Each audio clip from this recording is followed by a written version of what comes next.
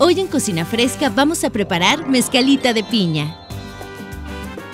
Los ingredientes son mezcal, jarabe de agave, jugo de piña, piña, jalapeño, jugo de limón, hielos, menta.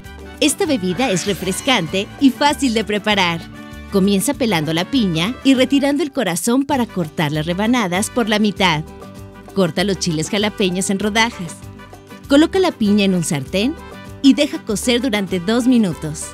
En una jarra, agrega hielo, mezcal, limón y jugo de piña. Para terminar, coloca el ingrediente principal, las rodajas de piña.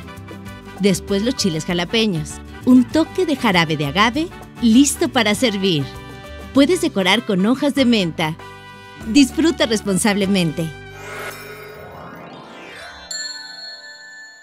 En tienda o internet, en Walmart siempre encuentras todo y pagas menos. Haz clic y suscríbete. Compra todos los ingredientes aquí.